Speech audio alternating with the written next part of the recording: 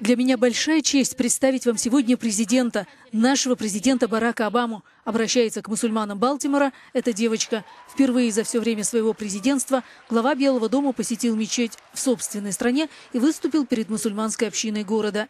В своей речи Обама заявил, что ислам является частью Америки еще с колониальных времен и отметил роль поколения американских мусульман в развитии страны.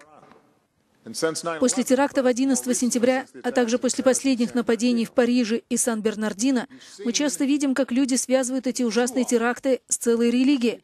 Также в последнее время мы слышали непростительную политическую риторику, направленную против американских мусульман, сказал президент США, призвав своих сограждан проявлять терпимость ко всем религиям.